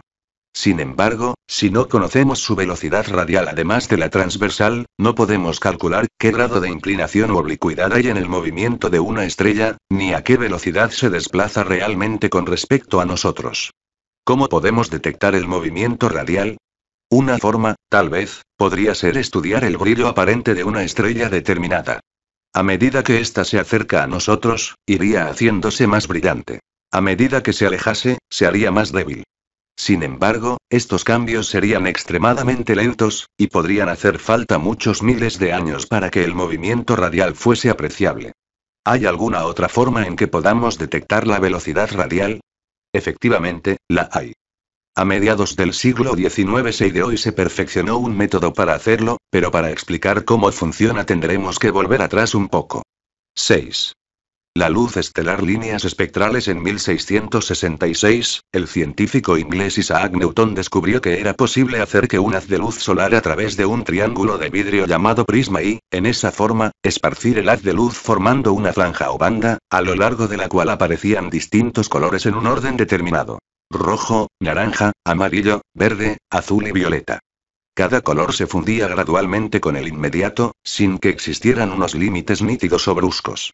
Al parecer, la luz del sol, aunque la viésemos blanca, era una mezcla de luces de muchos colores distintos.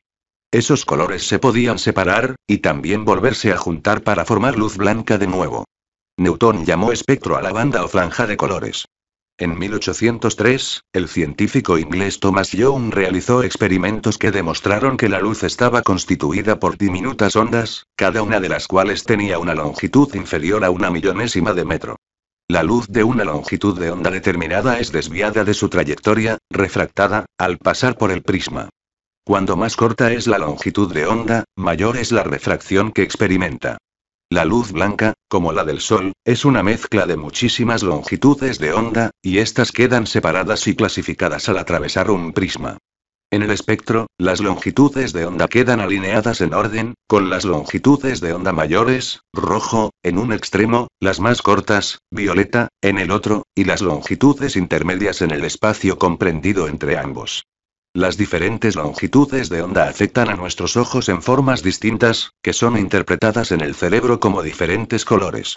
Esta es la razón por la que vemos el espectro como una banda de colores.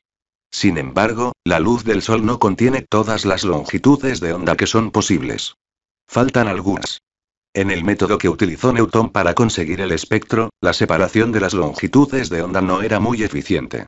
Había tanto solape que las longitudes de onda que faltaban estaban enmascaradas por la luz de las longitudes de onda inmediatas en cualquiera de las dos direcciones. Luego, en 1814, el físico alemán Joseph von Fraunhofer hizo pasar la luz a través de una estrecha ranura antes de dejarla atravesar el prisma. El resultado fue que se formó la imagen de la ranura en luz de cada longitud de onda, y las diferentes longitudes de onda quedaban separadas mucho más nítidamente de lo que había sido posible hasta entonces. Dondequiera que faltaba una longitud de onda en la luz solar, había una imagen oscura de la ranura. Una línea oscura que aparecía en medio de todas las líneas brillantes que se fundían unas con otras para formar una banda continua. Fraunhofer descubrió casi 600 de estas líneas espectrales y marcó las más destacadas con las letras de la A K. Esas líneas espectrales aparecían siempre en los mismos puntos y con las mismas separaciones en el espectro solar, puesto que eran siempre las mismas longitudes de onda de la luz las que faltaban. Los astrónomos podían obtener croquis detallados de estas líneas, situarlos en su posición exacta y determinar exactamente qué longitudes de onda faltaban. En 1842, un científico austríaco llamado Christian Johann Doppler se hallaba trabajando en un problema que parecía no tener nada que ver con las líneas espectrales. Estaba interesado en el hecho de que un sonido determinado cambiaba de tono si el objeto que lo estaba produciendo se hallaba en movimiento. El silbato de un tren, por ejemplo, tenía un cierto tono si el tren se encontraba inmóvil. Si el tren se estaba aproximando al observador, el silbato le sonaba a este con un tono más alto, aun cuando para los pasajeros del tren, que se movían con el silbato, no parecía haber cambio alguno. Del mismo modo, si el tren se estaba alejando del observador, el pitido le parecía a este de un tono más bajo, mientras que para los viajeros, que se desplazaban con el silbato, tampoco ahora parecía haber cambio alguno.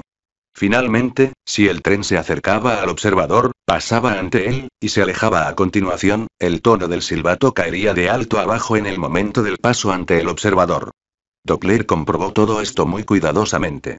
Finalmente, decidió que la causa de las variaciones del tono dimanaba del hecho de que el sonido está formado por ondas, y que el tono dependía de la longitud de estas. Las longitudes de onda de sonido cortas producían el efecto de un tono alto, y las longitudes de onda largas producían el efecto de un tono bajo. Cuando se canta la escala musical desde las notas bajas a las altas, se producen ondas sonoras que son cada vez más cortas. Cuando se hace una escala descendente, se van produciendo cada vez más largas. Supongamos que algo que está produciendo un sonido viene acercándose a nosotros. Las ondas de sonido que se emiten hacia nosotros serán más cortas de lo que serían si la fuente del sonido permaneciese inmóvil. El objeto que se aproxima le come algo de terreno a cada longitud de onda antes de emitir la siguiente. Esta es la razón de que el tono sea más alto para un sonido que se acerca que para ese mismo sonido si permanece inmóvil. Si la fuente del sonido se aleja de nosotros, cada onda de sonido se envía desde una posición más alejada, de modo que la onda resulta un poco más larga de lo que sería si la fuente sonora permaneciese inmóvil. Por esa razón, el tono de un sonido que se aleja es más bajo de lo que sería si la fuente a ese mismo sonido estuviese quieta. A causa de esta explicación, el cambio de tono debido al movimiento recibe el nombre de efecto Doppler. Unos años más tarde, el científico francés Armand Hippolyte Louis Fizeau indicó que el efecto Doppler se podría aplicar también a la luz, puesto que esta es un fenómeno ondulatorio, o formado por ondas. Razonaba que si una fuente de luz se nos estuviese acercando, todas las longitudes de onda se harían más cortas. Por consiguiente, una línea oscura del espectro se desplazaría hacia el extremo de este, y habría un corrimiento hacia el violeta. Si la fuente luminosa se estuviese alejando de nosotros, todas las longitudes de onda se harían más largas. Por lo tanto, una línea oscura del espectro se desplazaría hacia el extremo de este, correspondiente a las longitudes de onda largas, y habría un corrimiento hacia el rojo. En lo que respecta a la luz, este cambio de la longitud de onda debido al movimiento de la fuente se conoce a veces como el efecto Doppler-Fizeau. Aunque el Sol fue el primer objeto del que se obtuvo el espectro, podía usarse para ello cualquier otra fuente de luz. La luz de la Luna, la de los planetas, la de un fuego ordinario, todas ellas podrían producir un espectro. Naturalmente, lo que más interesaba a los astrónomos eran los espectros producidos por estrellas, los espectros estelares. Mediante un telescopio, se podía enfocar a luz producida por una estrella, y hacerla pasar por un dispositivo llamado espectroscopio, que produciría un espectro. Claro está que las estrellas eran débiles en comparación con el Sol, y al esparcir la luz procedente de ellas para formar un espectro se debilitaba aún más. Al principio solo se pudo conseguir que produjeran espectros visibles las estrellas más brillantes. En 1868, el astrónomo inglés William Huggins estudió el espectro de la estrella Sirius. También en él había líneas oscuras. En el débil espectro de Sirius solo se podían ver unas cuantas líneas oscuras, pero formaban la misma pauta de distribución que algunas de las más destacadas del espectro solar. La única diferencia era que las líneas del espectro de Sirius estaban en una longitud de onda un poquitín más larga que las del espectro solar. Había un pequeño corrimiento hacia el rojo, y Huggins se dio cuenta de que esto era porque Sirius se estaba alejando de nosotros. Fue la primera observación de un efecto Doppler-Fizeau en conexión con las estrellas y significaba que, por primera vez, se había detectado la velocidad radial de una estrella. ¿Velocidad radial sería posible estudiar también el espectro de las estrellas más débiles? En la década de 1840 se inventó la fotografía. Los astrónomos aprendieron a enfocar sobre una placa fotográfica la luz de los cuerpos celestes y a tomar fotografías de los mismos. Naturalmente, el Sol y la Luna fueron los primeros objetos que se fotografiaron, pero luego siguieron las estrellas. En 1850, el astrónomo norteamericano George Phillips Bond tomó la fotografía de la estrella Vega, y en el año 1857 fotografió a Mizar. En 1863, Huggins fue el primero que fotografió un espectro estelar, captando los de Sirius y Capella. Estas dos primeras fotografías de espectros estelares eran sin embargo demasiado débiles y borrosas para que se pudiesen apreciar detalles. No obstante, la técnica de la fotografía fue mejorando con los años, y demostró poseer algunas grandes ventajas sobre la sola observación visual. Cuando la luz incide en la retina del ojo, no se acumula en ella. Si un objeto es demasiado poco luminoso para que pueda verse, la contemplación prolongada del lugar que ocupa no logrará hacerlo visible. Seguirá siendo demasiado débil para ello. En cambio, una placa fotográfica acumula los cambios químicos producidos por la luz. Un objeto poco luminoso puede no enviar suficiente luz para afectar inmediatamente en forma visible a la placa fotográfica. Pero, si se espera un tiempo suficiente, los efectos de la luz se van acumulando y aumentando. Como resultado de ello, las exposiciones largas permiten que la placa fotográfica tome fotografías de objetos demasiado débiles para poder verlos sin recurrir a esta técnica. Y, además, la fotografía constituye un registro o testimonio permanente. Llegado el momento, la fotografía permitió estudiar grandes números de espectros estelares con el detalle suficiente para detectar minúsculos corrimientos en las líneas espectrales y determinar la velocidad radial. El estudio de la velocidad radial resultó mucho más útil que el de la velocidad transversal. Esta se puede detectar solo en las estrellas más próximas, mientras que la velocidad radial se puede detectar en cualquier objeto, por lejano que esté. Se ha detectado la velocidad radial de los objetos más distantes del universo, y ello nos ha proporcionado importantes informaciones acerca del universo como conjunto, las cuales no se podrían haber determinado en ninguna otra forma. Por lo que respecta a las estrellas más próximas, cuyas velocidades transversales están relacionadas en la tabla 24, se han determinado también sus velocidades radiales, que se dan en la tabla 25. Un signo positivo, indica un movimiento radial de aproximación hacia nosotros. Un signo negativo, un movimiento radial de alejamiento de nosotros. Tabla 25.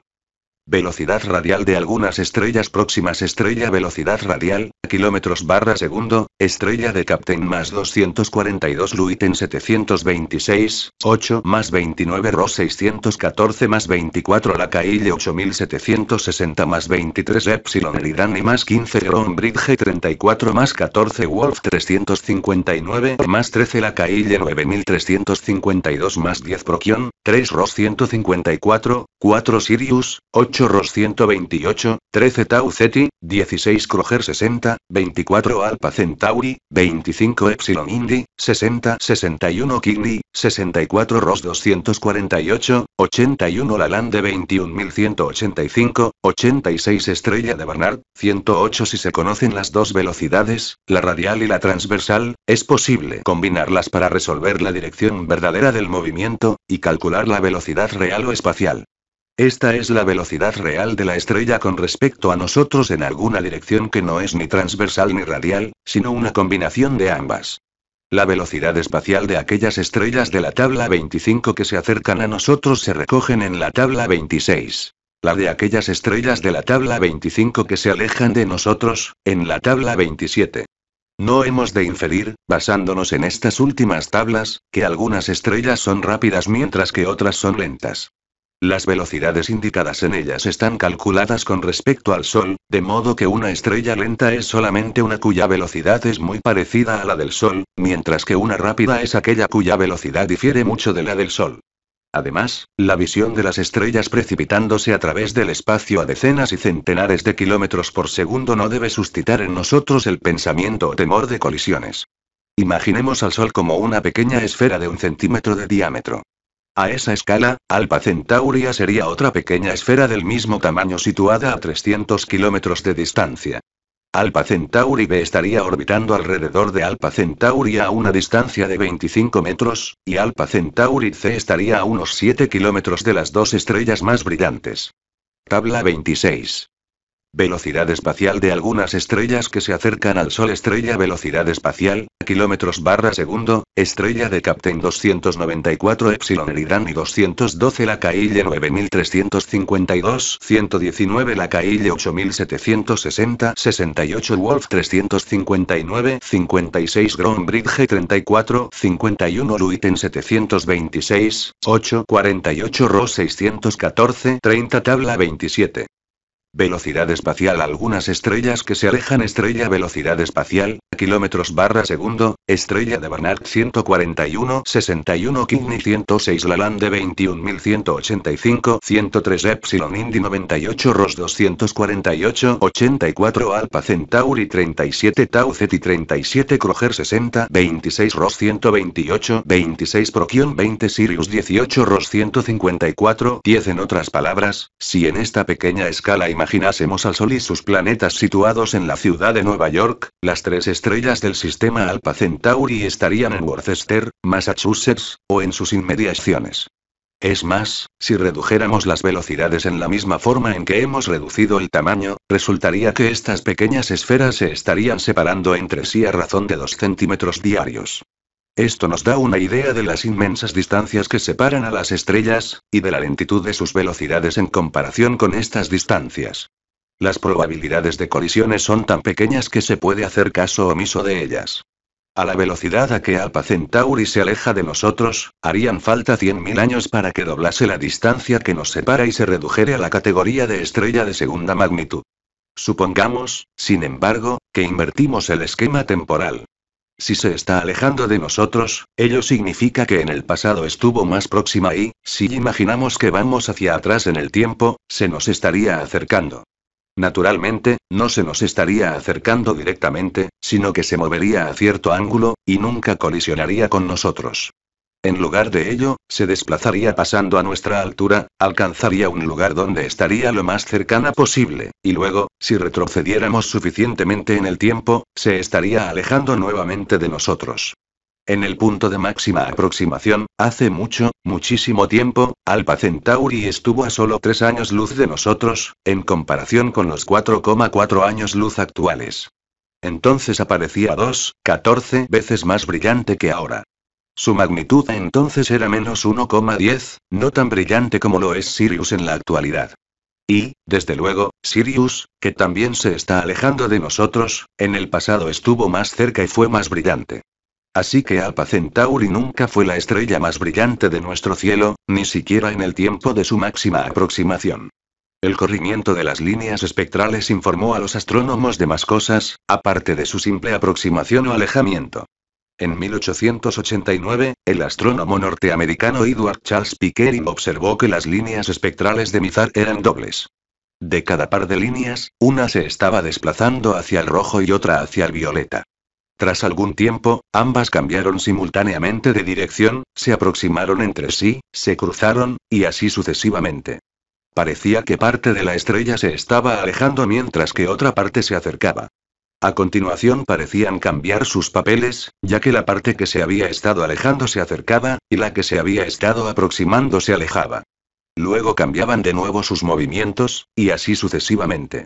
La explicación lógica parecía ser que había dos estrellas, tan próximas entre sí que ni siquiera los mejores telescopios eran capaces de separarlas.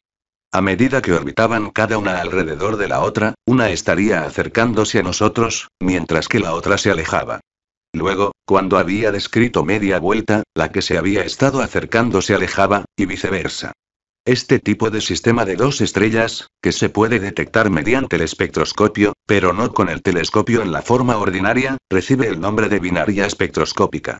En el caso de Mizar, que es una binaria visual, un objeto que en un telescopio se puede ver como dos estrellas, Mizar A y Mizar B, Mizar A es, a su vez, una binaria espectroscópica.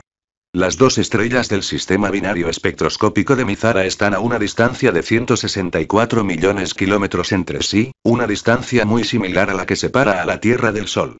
A la distancia de 80 años luz a que se encuentra Mizar, esto representa una separación de 0,04 segundos de arco, demasiado pequeña para poderse distinguir mediante el telescopio.